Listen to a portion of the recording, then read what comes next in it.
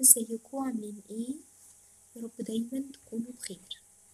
هنتكلم عن الوحدة التالتة الدرس الخامس. هنتكلم عن ثورة خمسة وعشرين يناير ألفين وحداشر وثورة تلاتين يونيو ألفين وتلاتاشر الثورتين دول كانوا مهمين جدا وأظن منكم سمع عنهم لأنهم كان وقتهم قريب. الثورتين دول كانوا مهمين أوي في تاريخ مصر الحديث. لأنهم ساهموا في تطور مصر بشكل كبير جدا. الثورتين دول الفرق الزمني ما بينهم قليل جدا. تعالوا نتكلم الأول عن ثورة خمسة وعشرين يناير ألفين وحداشر. ثورة خمسة وعشرين يناير من الثورات الفريدة في التاريخ المصري الحديث والمعاصر. ليه ثورة خمسة وعشرين يناير من الثورات الفريدة؟ الثورات الفريدة يعني اللي ملهاش مثيل اللي مش هيحصل زيها قبل كده أو محصلش زيها قبل كده بدليل زي ما درسنا قبل كده في الثورة العربية وثورة تسعتاشر وثورة تلاتة وعشرين يوليو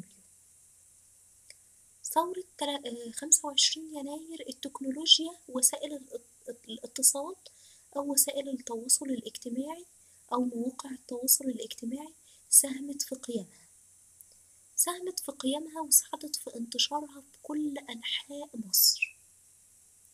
وسائل التواصل الاجتماعي اللي كلنا بنستخدمها اللي هو الفيسبوك وتويتر. بيقول لي إن ثورة خمسة وعشرين يناير ما كانتش وليدة التاريخ ده بس. مش المصريين قرروا كده إن هما هينزلوا من البيت علشان يقوموا بثورة لأ في التاريخ ده أو اليوم ده لأ كانت في حركات سياسية احتجاجية المصريين قاموا بيها قبل التاريخ ده قبل التاريخ ده الحركات دي مهدت لقيام الثورة دي ثورة خمسة وعشرين يناير.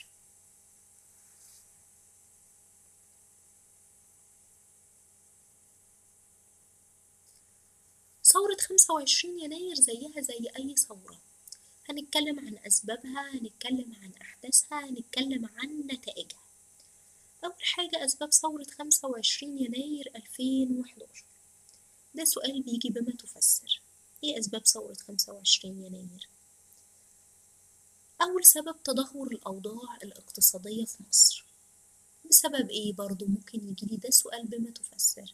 تدهور الأوضاع الاقتصادية وقت ثورة خمسة وعشرين يناير أو أثناء ثورة خمسة وعشرين يناير.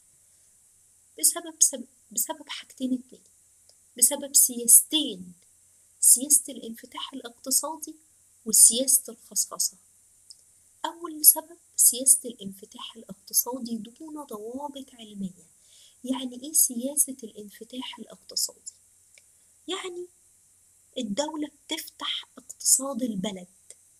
يعني الدولة بتشجع التجار والمستوردين إن هم يشتروا أو يستوردوا سلع ومنتجات من بره.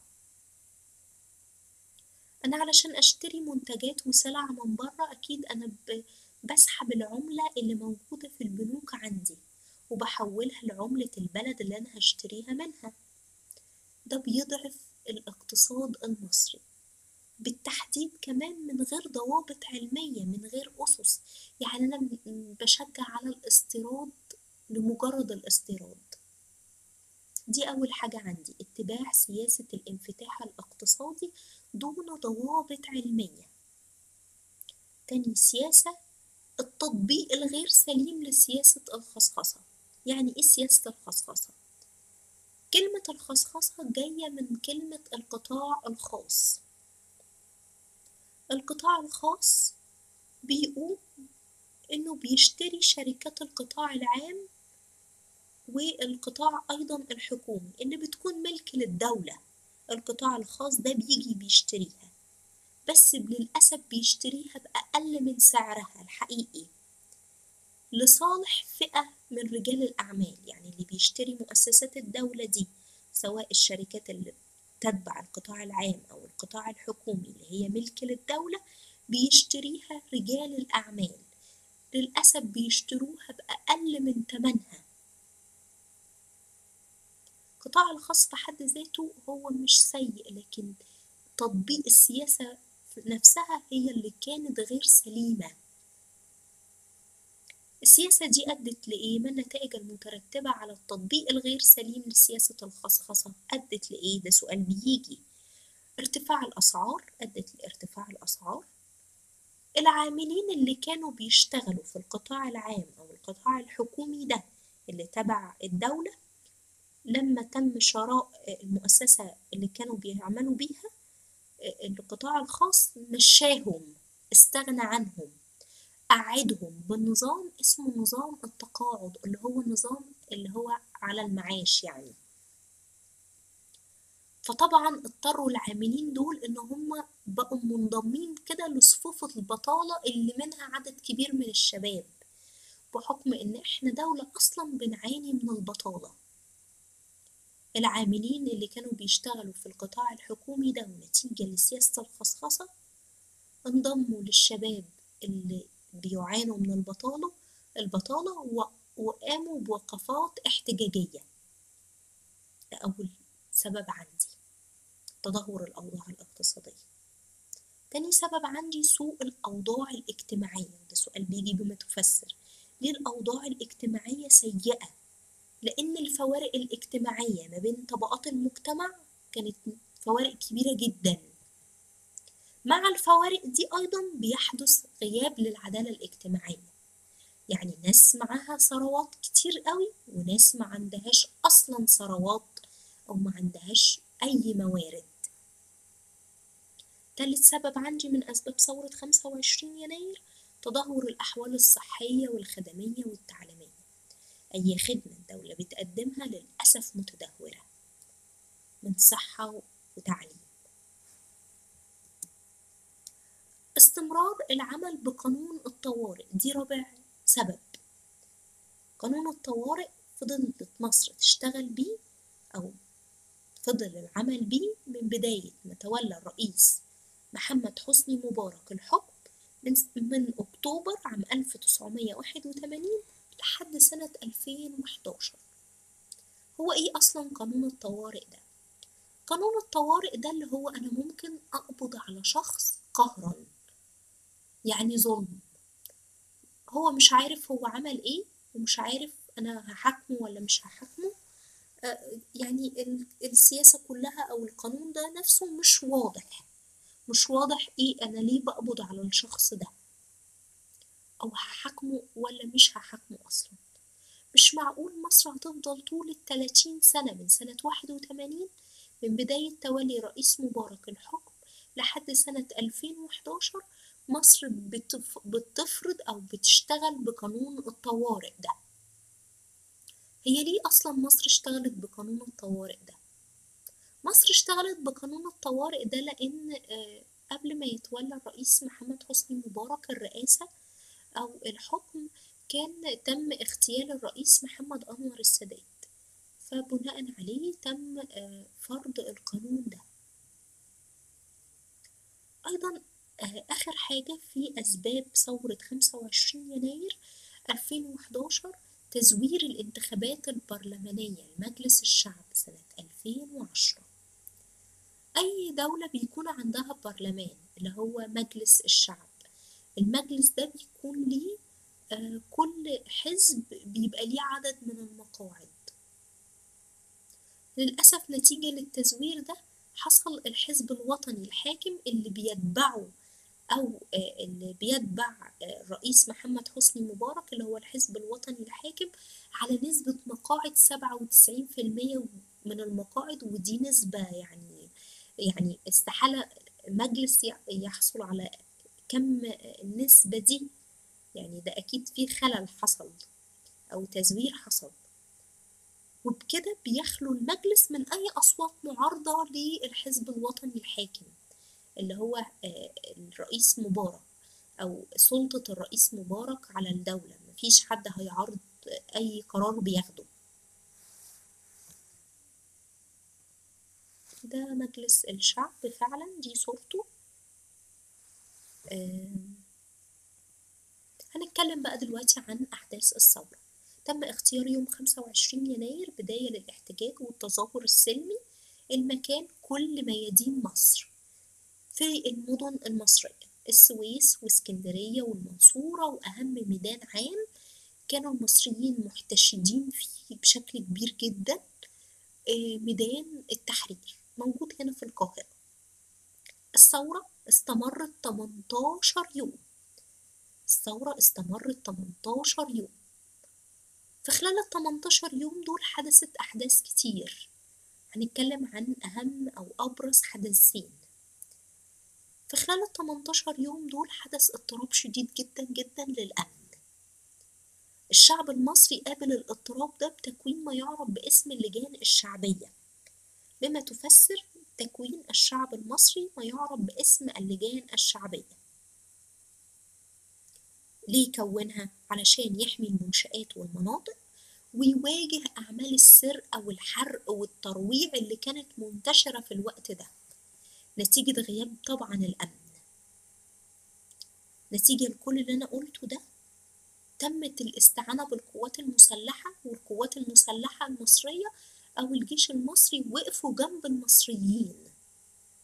وحموا الممتلكات والمنشآت سواء العامة أو الخاصة. وحافظوا على أمن المواطنين. طيب النظام بقى. النظام فين من كل اللي بيحصل ده. النظام حاول نظام مبارك حاول يهدئ الثوار أو يهدئ غضب المتظاهرين في كل ميادين مصر واتخذ عدة إجراءات. عمل حاجتين. عين نائب ليه الرئيس مبارك عين نائب ليه وفوض له كل صلاحياته اداله كل صلاحياته الرئاسية. يبقى عين نائب ليه وفوض كل الصلاحيات الرئاسية ليه. تاني حاجة عملها شكل حكومة جديدة. نتائج بقى الثورة. تفتكروا بعد كل ما المصريين عملوه ده ووقفوا في الميادين لمدة 18 يوم هيوافقوا أو هي القرارين دول هيمتصوا غضبهم؟ ولا الشعب ده نازل من البيت مصر على آه آه خلع النظام أو عزل النظام بالكامل. فعلا الرئيس محمد حسني مبارك تخلى عن الرئاسة يوم 11 فبراير سنة 2011 بعد 18 يوم بالظبط. وتم تسليم السلطة للمجلس الأعلى للقوات المسلحة. الجيش بيدل أيضا أو من نتائج أيضا الثورة زي ما قلت لكم من شوية على مدى إصرار الشعب المصري على الاستمرار من أجل تحقيق مطالبه. أنا نازل من البيت ومقرر إن أنا هشيل النظام ده. في بقى معلومة مهمة جدا إن الجيش المصري كان قوة بتساند الشعب المصري. وما كانش أداة أبدا أبدا لدى النظام علشان يقمع المتظاهرين أو يخمد الثورة.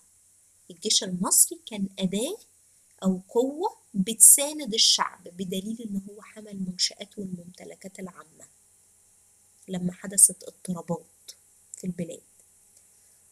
ما كانش الجيش أداة لدى, لدى النظام عشان يقمع المتظاهرين أو يقضي على الثورة.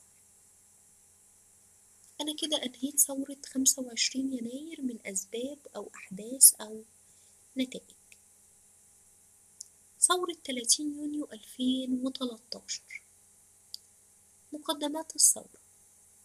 بعد ما تولى المجلس الأعلى للقوات المسلحة زي ما قلت من شوية وتم عزل الرئيس محمد حسني مبارك وفي خلال الفترة دي كان المجلس العسكري هو اللي متولي أمور البلاد تقدم عدد من المرشحين للرئاسة لرئاسة مصر وكان من ضمن المرشحين أحد المرشحين أو الرئيس محمد مرسي عن حزب الحرية والعدالة وهو حزب ديني إسلامي.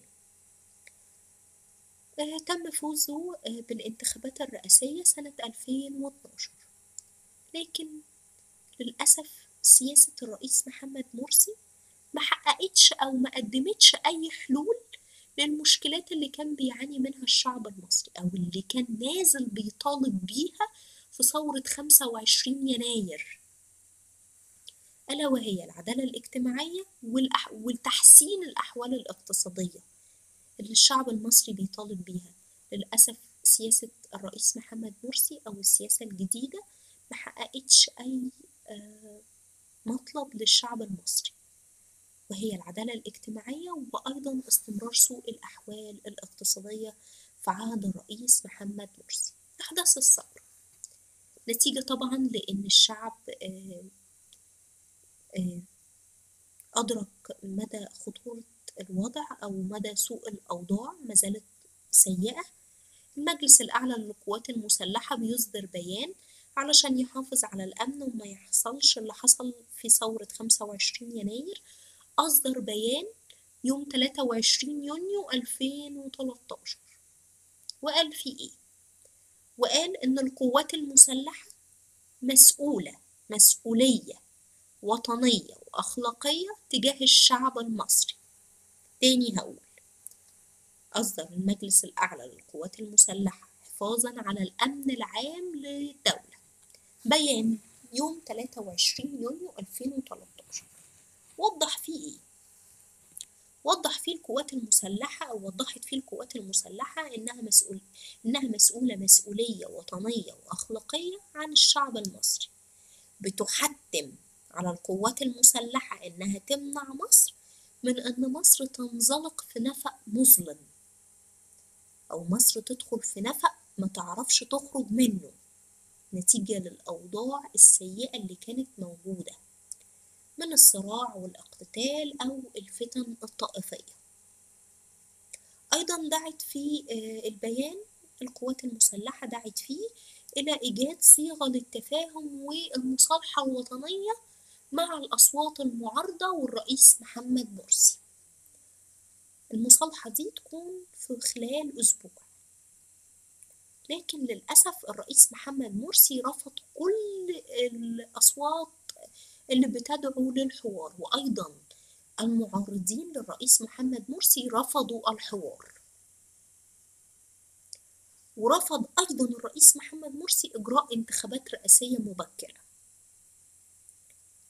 فبالتالي نتيجة لكل اللي أنا ذكرته ده خرجت جموع الشعب المصري في أعداد كبيرة في الميادين والشوارع مرة أخرى في ثورة جديدة بيطالبوا بيها مرة أخرى بالتغيير.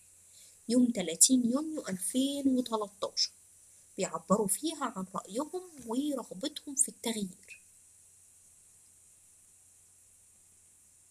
نتائج ثورة 30 يونيو 2013 تم عزل الرئيس محمد مرسي يوم 3 يوليو 2013 وتم تسليم السلطة إلى رئيس المحكمة الدستورية العليا اللي موجود قدام حضراتكم في الصورة. هو رئيس المحكمة الدستورية العليا هو المستشار عدلي منصور. لحين إجراء انتخابات رئاسية يعني المستشار عدلي منصور هيتولى الحكم لحد ما يتم إجراء انتخابات رئاسية مرة أخرى. وبيتم تعديل الدستور اللي كان صدر في عهد الرئيس محمد مرسي سنة 2012 وتم صدور دستور جديد سنة 2014 وبتعقد انتخابات رئاسية وبيفوز المرشح الرئاسي الرئيس الحالي لمصر هو الرئيس عبد الفتاح السيسي.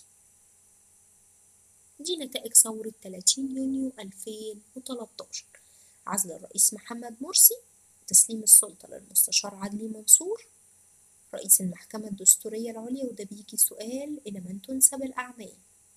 بعد عزل الرئيس محمد مرسي تولى السلطة أو تم تسليم السلطة لمين؟ المستشار عدلي منصور.